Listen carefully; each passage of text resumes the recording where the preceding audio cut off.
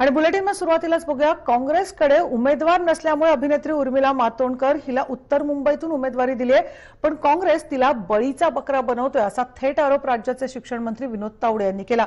तसंच निवडणुकीच्या पार्श्वभूमीवर काँग्रेस राष्ट्रवादीचे नेते मतदारांमध्ये संभ्रम निर्माण करतायत. त्यात खुद्द शरद पवार हेच वेगवेगळी विधानं करून गोंधळ निर्माण करण्याचा प्रयत्न करतायत अशी टीका सुद्धा विनोद तावडे यांनी यावेळी केली आहे. आता हार्डकोर उत्तर मुंबई भाजप सेनेचा प्रचंड मोठा बालेकिल्ला आहे. आणि काँग्रेसच्या आता नवीन नुकतेच गेलेले जे अध्यक्ष संजय निरुपम आहेत यांनी स्वतः तिथला पळ काढला आणि एका मराठी कोकणातल्या मुलीला महिलेला त्या ठिकाणी पराभवासाठी बळी दिला. असं दुर्दैवाने झालेलं आहे. आणि मला वाटतं की हे काँग्रेसने न करणं उर्मिलाजींचं राजकीय कौशल्य असेल तर त्यांनी प्रचारामध्ये वापरायला हवं होतं. बळीचा बकरा करणं हे बरोबर नव्हतं. शरद पवार साहेब जे बोलतात ते नेमकं करतच नाहीयेत. मावळ लढतो म्हणले लढत नाही. पार्थ लढणार नाही म्हणले लढला. नगर काँग्रेसला सोडली म्हणले सरकारनामामध्ये पुन्हा सोडलीच नाही. पुलवामाचा एअर स्ट्राईक मी सुचवला होता म्हणले नंतर म्हणले मी असं बोललोच नाही. त्यामुळे हे कसे अविश्वासू आहेत आणि थेट आमदार काँग्रेसचे आमदार भाई जगताप आपल्याबरोबर आहेत. भाई जगताप आपण तो खूप गंभीर आरोप विनोद तावडे यांनी केलेला आहे थेट. उर्मिला मातोंडकर हिला बळीचा बकरा काँग्रेस बनवते असा आरोप केलेला आहे. काय नेमकी आपली प्रतिक्रिया आहे? भाई जगताप यांच्याशी आपला संपर्क होत नाहीये. मात्र आपण बघतो काँग्रेसकडे उमेदवार नसल्यामुळे अभिनेत्री उर्मिला मातोंडकर हिला उत्तर मुंबईतून उमेदवारी दिलेली आहे.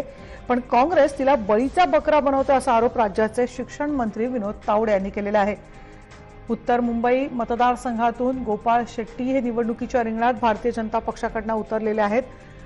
आणि आता काँग्रेसकडून आघाडीकडून थेट उर्मिला मातोंडकर यांचं नाव सुचवण्यात आलं. दोन दिवसापूर्वी उर्मिला मातोंडकर यांनी काँग्रेसचं सदस्यत्व स्वीकारलं आणि आज थेट उर्मिला मातोंडकर यांना उत्तर म- मुंबईतून थेट निवडणुकीच्या रिंगणात काँग्रेस उतरवत आहे. मात्र दुसरीकडे आता भारतीय जनता पक्ष थेट आरोप करताना आपल्याला बघताय काँग्रेस तिला बळीचा बकरा बनवतोय असा आरोप राज्याचे शिक्षण मंत्री विनोद तावडे यांनी केलेला आहे. तसंच निवडणुकीच्या पार्श्वभूमीवर राष्ट्रवादी काँग्रेस राष्ट्रवादीचे नेते मतदारांमध्ये संभ्रम निर्माण करतायत असा आरोप सुद्धा विनोद तावडे यांनी यावेळी केलेला आहे.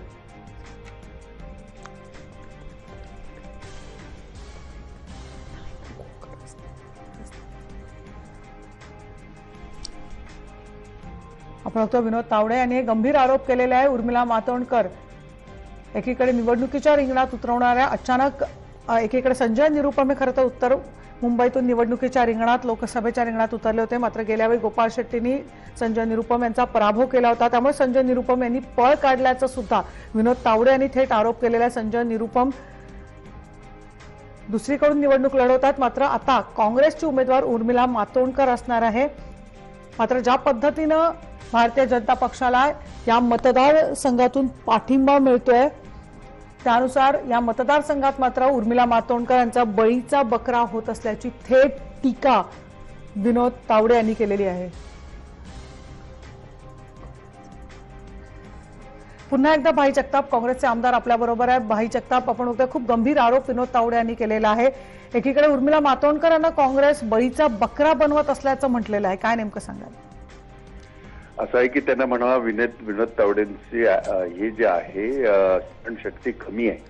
त्यांना म्हणावा की आपण या स्टॉलवर्ट असलेले राम नायक विसरलात का? त्यावेळेला हीच वाक्य व हीच वक्तव्य अशीच तुमच्या पार्टीने केली होती.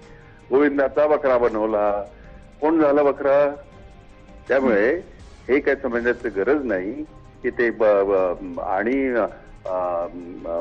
उर्मिला मातोंडकरला इतकं कमी लेखून हे नेमकं काय करण्याचा प्रयत्न करत आहे? देशभरामध्ये जे काही वातावरण आहे आणि त्या वातावरणाच्या पार्श्वभूमीवर तिला स्वतःचा विचार आहे ते जो तिने मांडलेला आहे काल सुद्धा त्याच्या अगोदर सुद्धा. त्यामुळे मला असं वाटतं की कोणाला कोण कोणी बळीचा बकरा बनवलाय ते काळ आहे की उर्मिला मातोंडकर ही एक अशी अतिशय गुणी अभिनेत्री मराठी अभिनेत्री आणि तिचा स्वतःचा असलेला एक वेगळा अभ्यास आणि स्वतः तिचं असलेलं प्रभुत्व मराठी भाषेवरचं. त्यामुळे आज सकाळी त्या तिकडे याला बोरिवलीला एक मिटिंग झाली. जबरदस्त मिटिंग झाली. त्यामुळे आम्हाला तुम्ही सांगू नका कोणाला काय बळीचा बकरा. फक्त ते आठवा म्हणा ते राम नाईकांचा तो त्यावेळेचा काळ आठवा. तसाच तुम्हाला आठवावा लागेल आता एकोणतीस तारखेनंतर.